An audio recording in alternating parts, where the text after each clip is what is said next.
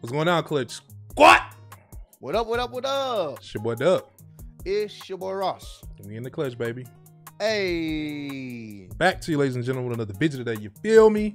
All right, we're going to check out the 20 strangest places where people actually lived, man. This should, uh, well, actually live. So this Hey, is going to be very interesting, man. I'm Hey, very we done seen intrigued to see where where people uh, set up shop. Where We seen an island where you can walk across it in two minutes, Mm-hmm. Mm-hmm. Yep. and it's heavily populated.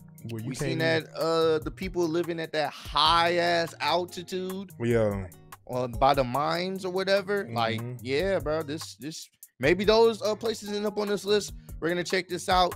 28 minutes, so y'all sit back, relax. We're gonna have a a, a good session here. get you some and- Teddy Grams. not the Teddy Grams. We're not. Let go. Yeah, Let's do not, it. When we think of the word home, we probably all think the same thing. Wait, A typical little house with was it? Was the ground shaking? Go back. The I ground was that. shaking, bro. Was was I tripping? When we think of the word home, we probably all think the same thing. Well, oh, that's the camera. Oh, a typical little house with a few bedrooms. But for some people, their homes wouldn't have just truly defy all there. understanding of what a home can Oh, and no. should be. These are the 20 strangest places where people actually live. What a creepy. Uh, Number 20. Hanging Temple of Hengshan.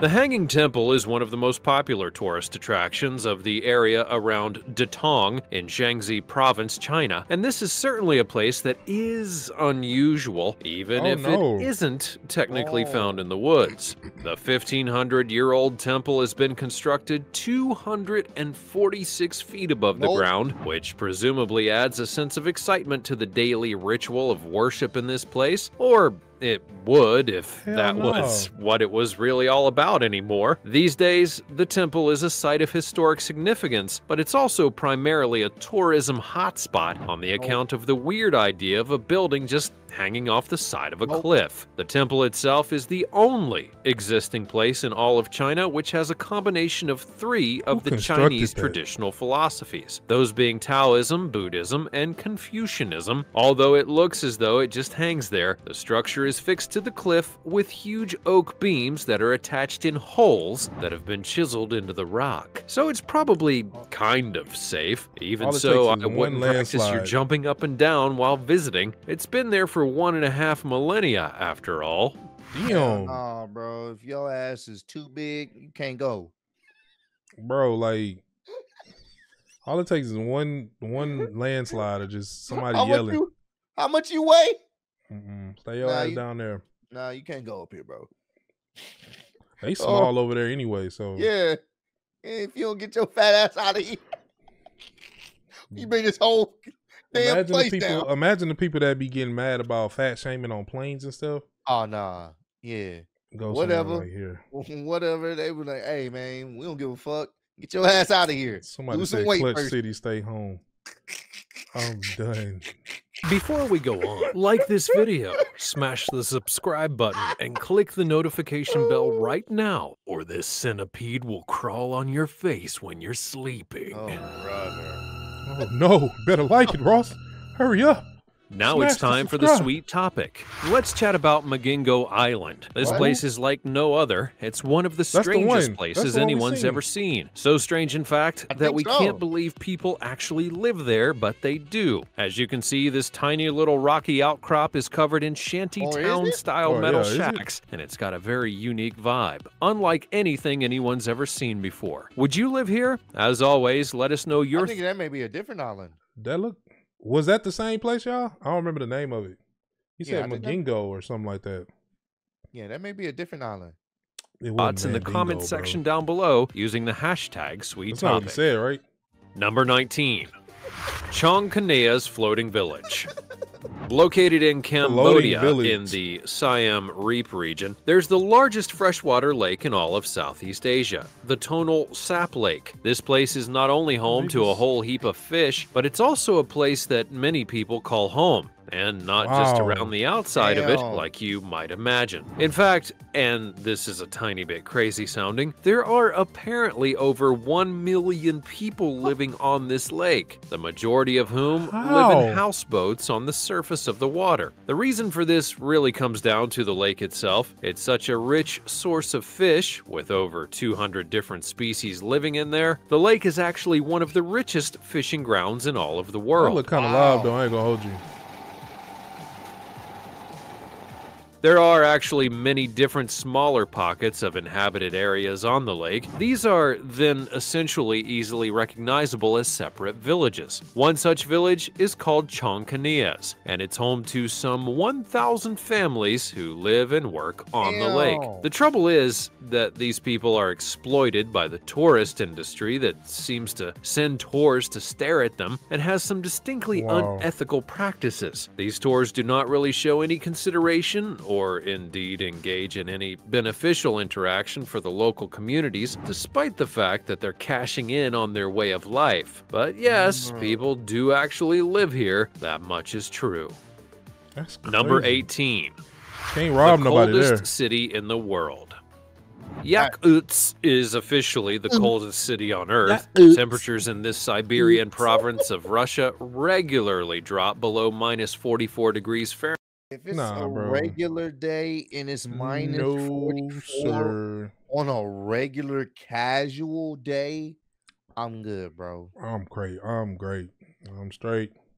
Nah, I'm good, bro. It's that's just not for me. It's not humane, bro. this is not for me. I'm good, bro.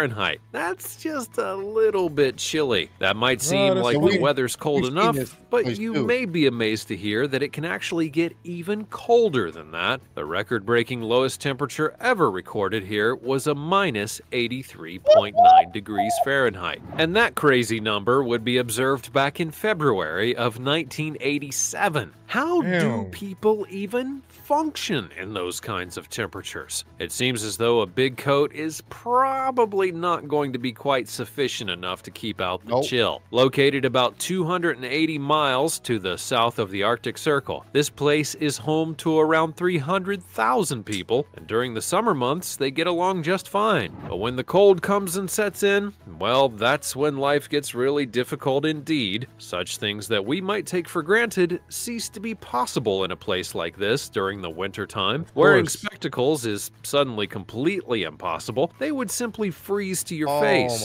Driving? Well, that's another tricky issue. Cars have to run constantly for 24 hours a day Man, and seven it, days bro. a week because if they stop, there's no way on earth you're going to get them started again until the weather improves. And if you want to buy milk, well, then it comes as solid as a frozen block. When you add to these basic difficulties the fact that in the winter it's only daytime for about four hours a day, and then in summer it stays light for 21 hours a day, that's when things get even. Bro, that's That is torture, bro.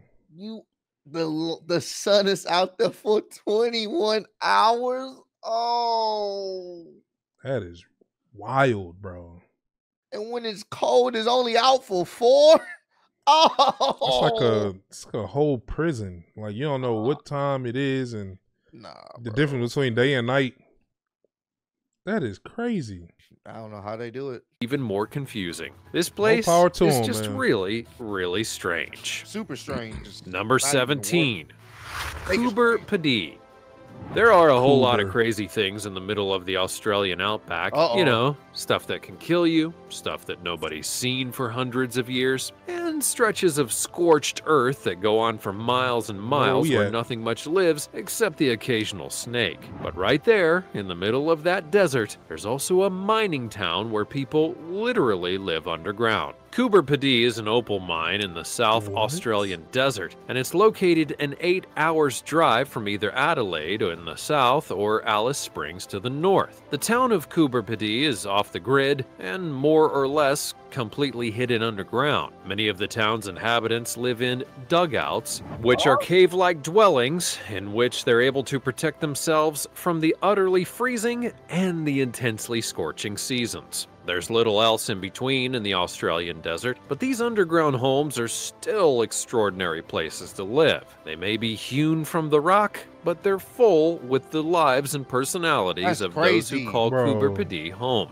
The people that live here are forced by sheer necessity to carve out a different way of life. They must be resourceful and adept and big problem solvers as they continue to exist Right. in this, one of the harshest places to squeeze out an existence. That's crazy. Number 16. That is wild. bro. Hallstatt, China.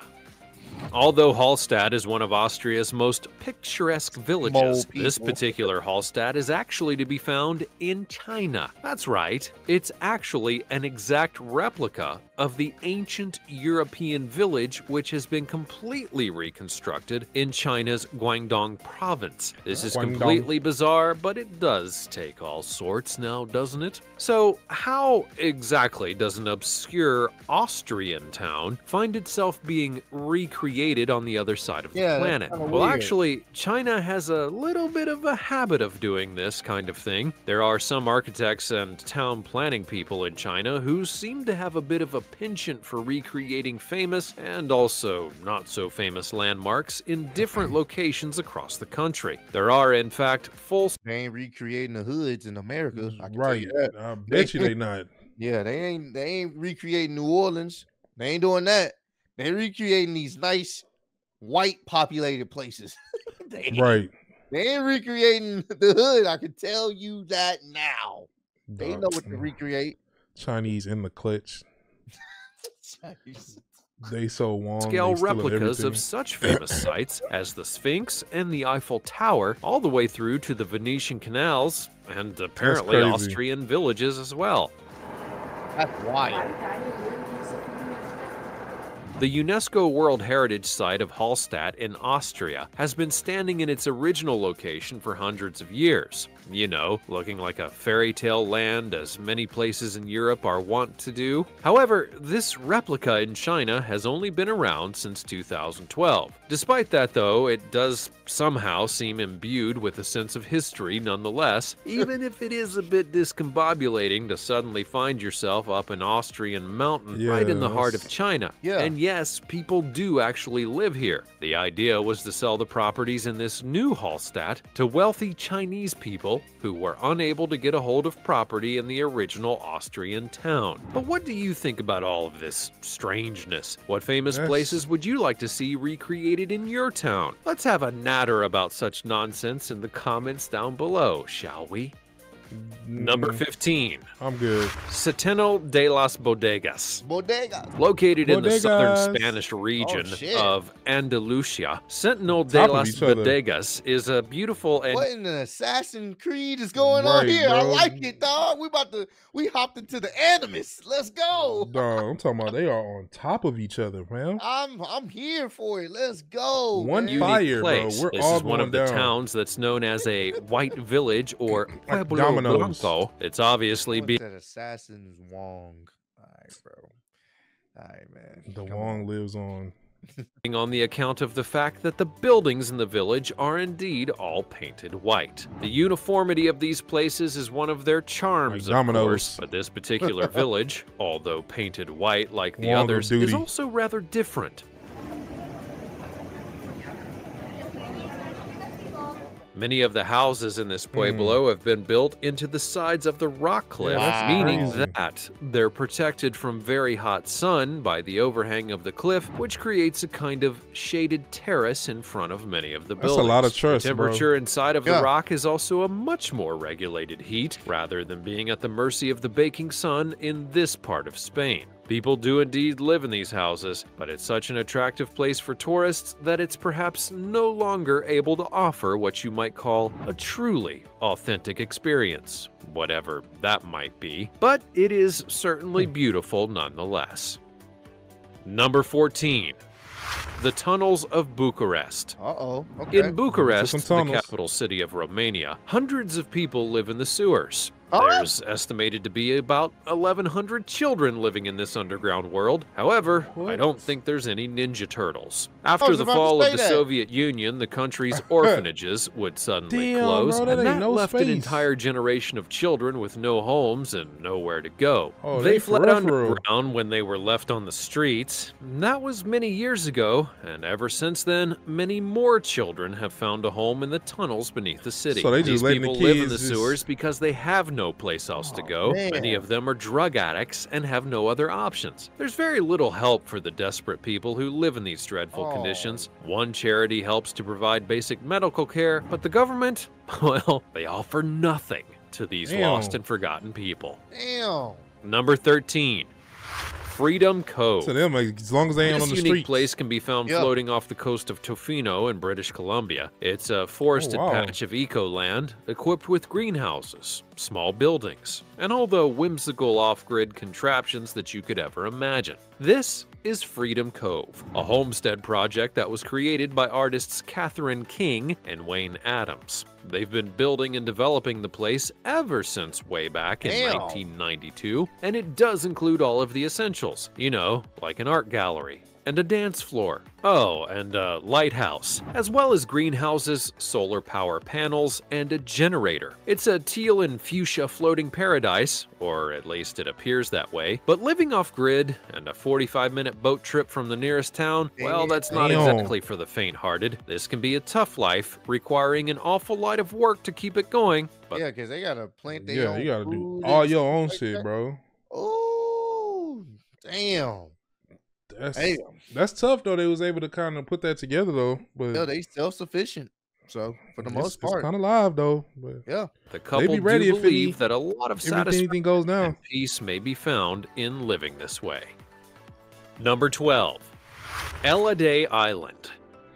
This may be one of the most remote looking houses that we've seen on our list so far, and it's on Iceland's Ellidaey Island, a place that's so odd in appearance that Oh, it looks one like house? may have fallen straight out of the pages of a storybook, and the house is perched right there in the center of this weird green slice of an island. There have been many rumors and stories about this spooky looking place over the years, but the truth Right. is really not so interesting at all. This island was once considered the premium spot for people who enjoyed puffin hunting, which sounds awful, I know, but it is a thing that some people do seem to enjoy. Anyways, the house is not the secret pad of a millionaire, nor is it the hideaway of a religious fanatic, nor even does it belong to Bjork. These are some of the rumors that go along with the place, but it's actually just a lodge that was constructed back in 1953 for all the puffin hunting enthusiasts to hang out in when they weren't out doing all the bird murders. So the What? story may not be as intriguing as the situation seems to suggest. Today, is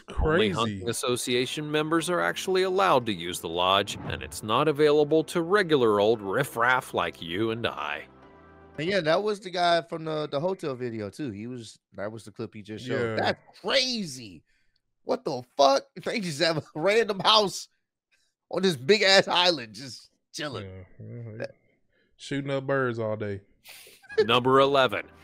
Cliff Village. Oh boy. This small Another village cliff. called something I'm not about to Just attempt to pronounce is edge. located in China. The place is known as a village on a cliff, and it's easy to see why. The village itself is perched all the way up there on a 2,600 foot high cliff, Oh. and in recent years, thanks to the wonder of the internet, it's become something of a super famous steep that tourist is, attraction. Back along in the past, the village was inhabited by residents who were extremely poor and lived right on the edge of existence, to such an extent, in Oh. fact, that they took their lives Bro, in their those hands whenever they scaled the side of the village. Those the not even traditional home. stairs, The bro. village used to be accessible only by a series of really wonky rattan ladders, and to be honest, even though improvements have been made to the ladder situation, No. this still looks the teeniest bit dangerous to me. In 2016, the local government invested in a bunch of money into the village, and a new steel ladder would replace the old rickety ones. That ladder,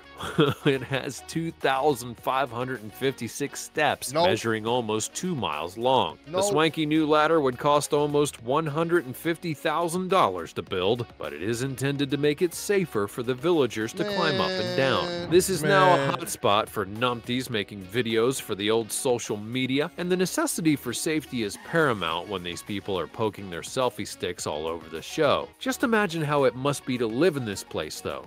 What if you get all the way to the bottom and realize you left your wallet at home? No. I'm just going. We gotta I'ma find steal. something free. we gonna steal. We gotta We're find gonna something free to find things. We're gonna find something free to do. I ain't I ain't walking my ass mm. back up two miles. Dog. walking up two a miles is steep- Dog. nah. I'm good, bro. Number 10. Drina River House. And now for a house that looks as though it may have washed up on a Nigga said, "I'm getting something." tiny little island in the middle of a river. If ever there were a storybook home, then it would be this one. This is the Drina River House in Serbia. The story behind the creation of this unique house goes like this. Back in the summer of 1968, a group of friends had been swimming and decided to rest up on the rocky island in the middle of the river. The thing was, though, that the rocks themselves were all rather pointy and sharp and scratchy, so they decided to drag a bunch of stuff over to the rock and make it a little more comfortable. So They they brought over build a a few house. lengths Right. of wood to lay on, and then assembled a few more to provide some shelter from the baking sun, and then an idea began to formulate. The following summer, a young man decided to head over to the rock and begin to build in earnest. He and a group of his friends would transport materials by kayak, and slowly but surely the place began to take shape. Wow. The trouble was that the River Drina is wild and unpredictable, and she washed away no fewer than six houses. Each time one was washed away, though, another intrepid builder would come along Wow. and make a more stronger That's one. some persistent little people, bro. when That's- niggas ain't got nothing else to do. Oh damn, the house was washed away. Oh, Well, let me go build another one. like, more power to you, man. What about Niggas That's a waste. too much free time on their hands. Just little house in the middle of the being washed river was to become famous and photographed by thousands of visitors until it became known and appreciated across the world. Number 9. Santuario Madonna della Corona.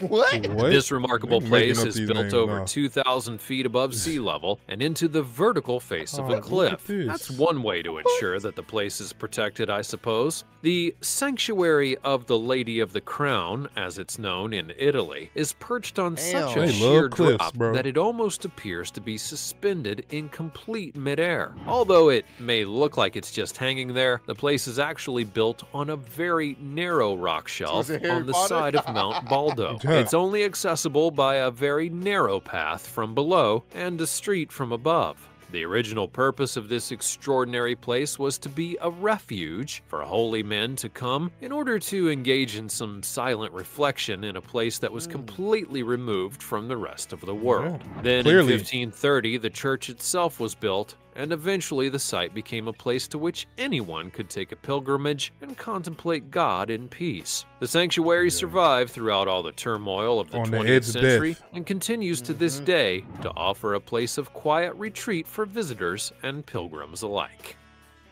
Number 8. That was a very interesting Mount one. Fanjing. Yeah. In order to reach this place, on, any bro. intrepid visitor must climb up more than 8,000 steps. That's a long way to go and peep at a temple, but it's no ordinary sort of place. Perched atop Mount Fanjing in China's southwestern Like Wuling mountain range, the natural rock spire is known as the Red Cloud's Golden Peak, and it supports two small Buddhist temples that have had a significant history for over 500 years. Can you even begin to imagine how the Buddhists ever managed to carry out all of the materials to build Yeah. those original temples up that sheer edge of a mountain? son. That actually remains a bit of a mystery to this day to everyone. bet it Just does. imagine carrying a regular backpack and your own body weight all the way up the place. The structures have been rebuilt in more recent times with stronger materials in order to help the temples to withstand harsh conditions and strong Bro, it's like they winds get up that there and are then go down. Reality at Yeah, these kind of I mean- altitudes. These days, the I mean, that's all they can do. Get up there, take pictures. Oh my God, we made it to the top. All right, it's gonna take us about another hour to get back down. Bro, pictures ain't worth it. Ain't no way in hell. Hey, yo, Eight thousand Eight steps, thousand steps, bro. dog. Hell That's no. up there. Then you got to do eight thousand down, and then however far you park your car, boy. Yo, damn feet gonna be howling. Oh, Humming, bro. that shit is.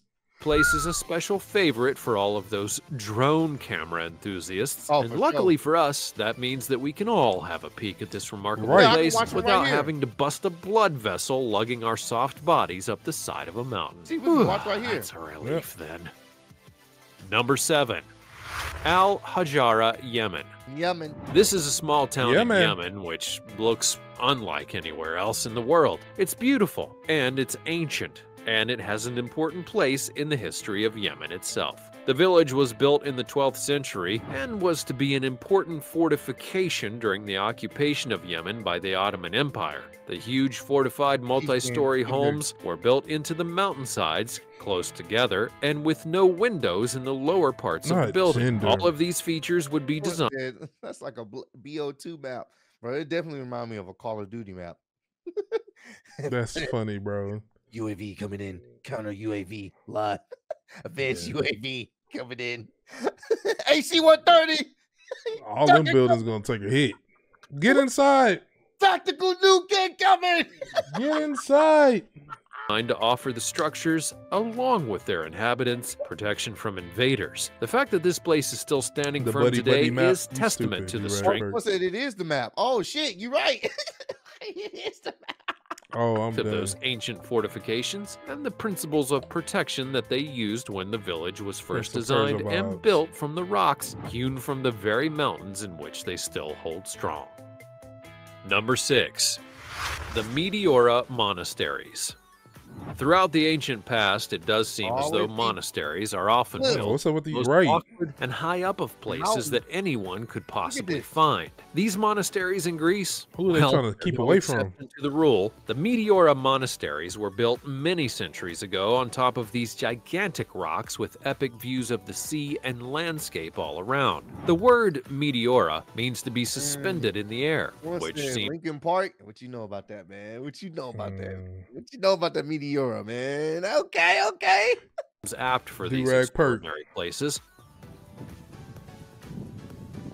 God damn, that view. There is are amazing, six though. monasteries active today, and a small number of monks or nuns who live in them. The Meteora monasteries were granted UNESCO World Heritage Site status in 1988, and That's are what an still Avatar places that are often on top of tourism lists to visit Before while in Fire Greece. Nation These came, perched holy places are also having a little bit of a revival, all on the account of all the drone cameras that are flying about all over the place, and they certainly are perfect subjects for all these epic sweeping camera angles now, aren't they? Nah, the view Number five. Yeah. Casa do Penedo, Portugal. Okay. Now, this one is ah. perhaps one of the weirdest and lumpiest sorts of homes that I've ever laid eyes on. What the the Casa do Penedo in the north. These niggas just turned the rock into a house, bro. They just be doing shit, bro. This nigga said, you know what? This house needs to be a fucking. I mean, this rock I needs can to make be a house fucking out of house. this. Somebody said I can make a home out of this. Bro, they turned a regular rock into a house, bro. Flintstones. Meet the Flintstones. That's definitely Flintstone vibes. Yabba dabba doo. Low key, we might be seeing where Fred laid his head. Bars. north of Portugal is built between four enormous stones from the area, and although the house part of the structure was only built in 1972, the whole thing has a kind of prehistoric feel on the account of all the Yeah. colossal rocks and organic wonky shapes of the structure in between. The building is quite rudimentary inside, although it's not uncomfortable, but there's no electricity in the place at all. The oh, trouble Yeah. with being such a strange and interesting looking building like this one is that tourists will just keep appearing to poke around, thus rendering null and void the relaxing and peaceful elements of such a retreat.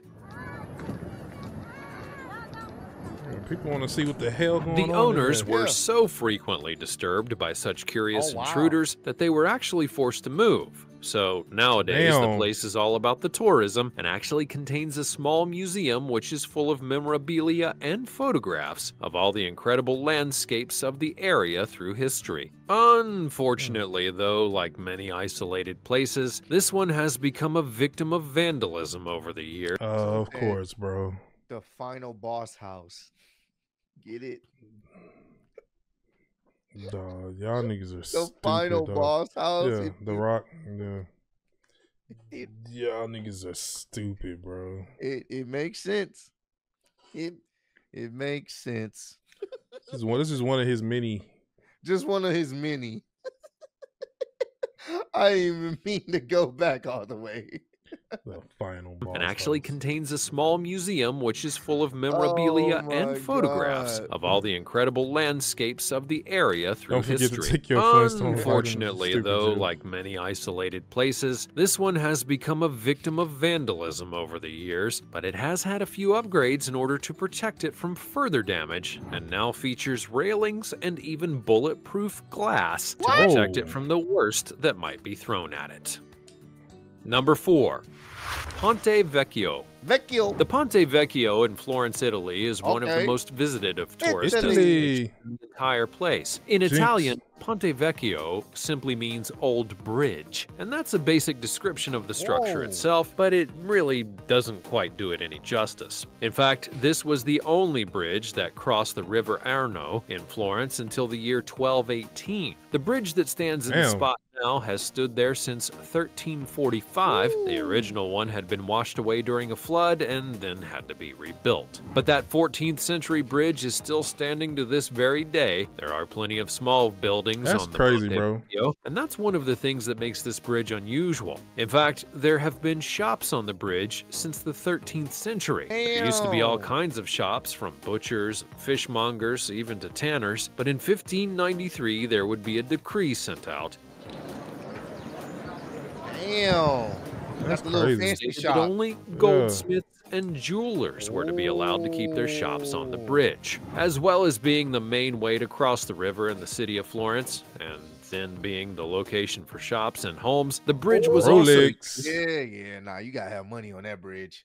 Yeah. Yeah, I mean, I see it. Look like nothing but money out there. Yeah. If they said only jewelers can be on that motherfucker, you gotta have money to walk on that. Sir, sir, sir, sir, sir. Sir. Relax, relax. Oh, sir, what are you what are you doing here? I feel like you shouldn't be walking around these areas of these parks. sir, sir, sir, that's what you who you pull out, sir, sir, sir. What you talking about? right. What you, what you talking about? That's why I love these places like this overseas. Like they got a Mhm. lot of the old, like ancient, like buildings and bridges and stuff like that that's been up Mhm. for like centuries and years and years and years. and and then they may have some old ways of thinking when people like us come around. Let them know. Hey, hey, hold on, hold on, We're in 2024, baby. I- Relax. and relax and show me your finest timepieces. By the Medici family, a rich and powerful dynasty gonna that sell to ruled the city for this bitch. generations. The Ponte Vecchio was used Flexing to with build a corridor for the family to travel between their palaces without having to walk in the dangerous streets below with the common folk, and they'll never have to come into contact with any of the unwashed men. below with the Yeah. common folk. Man, we don't. I don't walk with these commoners. Uh, uh. Peasants walk amongst you. No, they walk beneath me. That's wild, bro. this is not how I really feel, bro. I'm just playing the character. Y'all calm down, Nah, please. you, you playing that very well, bro. Too well. let's not do this. People talking about this fits Ross. It don't. It don't fit me, bro. You snapped into that role like, No, no, no. I'm. It's all jokes. all It's all jokes. It's all jokes. okay. Just jokes. hmm There's truth in them too. Jill said, "Can't breathe these poor people air." Huh. Ugh. Probably for the best, really. They wouldn't have wanted to get any of those riffraff germs on their Not the- persons. Not the riffraff. Number three, That's Tunisia. Tunisia. The other Matmata. worldliness of Matmata Matmata. troglodyte homes in the southern Tunisia is a spectacle that's unlike any other on Earth. Like These coffins. remarkable buildings are a link Definitely looking like a Call of Duty map. I'm telling you, bro. Uh, coffin Team, map. team deathmatch. Kill confirmed. with the ancient past of the fascinating North got your back. African country, and they're also a massive draw for tourism to the area. Of course, these ancient homes are literally dug into the landscape in a network of centuries old passageways and chambers, and the town of Matmata is Matmata. located on the very edge of the Sahara Desert in a landscape of palm trees and olive groves, approximately 20 miles to the south of the Mhm. nation's capital. These buildings have been inhabited by people for centuries and are still inhabited today by many of the indigenous people of North Africa. These homes are a living, breathing preservation of the culture and the history of these people and its Yeah, a lot of region. history, this bro. Mm-hmm. region has almost no wood or stone with which to construct any kind of buildings, so the dwellings were actually dug out of the earth. An ideal Damn. way for people who lived there to avoid the heat of the desert Look was to go that. underground where the temperature was regulated naturally. Each of the homes built here follows a basic construction pattern in which there's a central sunken courtyard, often with a well, and from this center, there are usually several small rooms or chambers which would be connected by passageways. The way to enter would be via a ladder or a tunnel. What do you think of these remarkable homes? Would you like to live underground like this? Let me Nope. know all about it in the But it's good comments to see. below. Yeah, good to see. Yeah, yeah, yeah. Number two, Sealand. There is an offshore platform in the North Sea that's located about seven and a half miles off the coast of Suffolk. Back in offshore workers go there, or 1967, this unusual spot would be declared to be the Principality of Sealand by a man named Paddy Roy Bates. The micronation is actually not officially recognized as such, Whoa. but has, nonetheless, been occupied by the family and associates of Bates ever since. Before it became the unofficial nation of Sealand, this Wow, platform was built by the British during the Second World War. Ceiling. This Niggas motherfucker is- with money, bro. Nigga just landed somewhere and claim It claimed it. would later then be taken over by pirate radio broadcasters, all before being seized by Bates in 1967. There was an occasion in 1978 Damn. when mercenaries invaded the micronation, but Bates was somehow able to repel the attack. This place is not officially recognized as a Somehow. sovereign state and actually sits within British territorial waters. But it all does seem rather exciting and a lot like playing forts on a really big scale, doesn't it? I can't really imagine it's a terribly practical spot for access to the shops, though, and it's probably going to be a little bit tricky to sell on the basis of its distinct lack of curb appeal. Bro, Number- just literally Niggas just, say, you know what? I own this. This is mine. I'm gonna just stand here. So I'm- eh, yeah. Time Nothing to else take to it if you want to. right, like there's nothing else to do. You literally just standing there. Somebody said nuke it. Why? You Number wouldn't one. even need to. Villa Girasole. Built in the 1930s in northern Italy near Verona, the Villa Girasole is a unique, if not exactly beautiful home. The concept of the design was based on the way that a sunflower, that's uh, girasole in Italian, Oh. moves to face the sun throughout the day. The architect Mm. behind the design believed that the house would maximize the potential health giving benefits of the sun by offering the homeowners the opportunity to live in a building That's that rotated to follow the sun fam. itself, just like a sunflower. It's a shame that it looks more like a power station than a flower, though, Thanks. but then again, you really can't have it all. So there you have it, a oh, whole looking like a Hydra outpost. Right, exactly like one. Right, like What the hell? that was crazy, bro. Niggas just got money, bro. Built to continuously follow the sun, so that way you can continue to get straight sunlight. Bro, nigga, like I said, niggas just got money. Yeah, How bro. much? How much? That's that's all they asked, bro. I want to face the sun all day. Yep. All right. Building just moves. Right, like that shit is wild, bro. Gunther's outpost. That's why he's the longest reigning intercon- intercontinental champion. He always Getting all that sunlight. sunlight, man. but no, But this yeah. was very interesting, bro. Very Oh yeah, learned a lot, bro. Always love learning new things and new places and stuff Yeah. that we never uh, heard about before, bro. So shout out to all the people that be climbing them stairs, cause man, we got the drone got shots.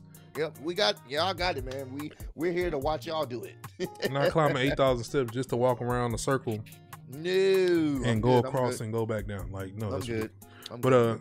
uh, for sure, if y'all enjoyed it, you already know what to do. Run up the like, subscribe. Let us know what else we need to be checking out. Keep on spreading love, being love. Catch y'all later. Peace out. already, man. The bitch is from Houston. If you got a problem, then we got the solutions. And there's no illusion. I made this shit happen, I'm living life lucid. I'm switching my strategies. Now they hate on me cause I'm causing casualties. So why are they after me? Deep inside, they know they can't handle half of me.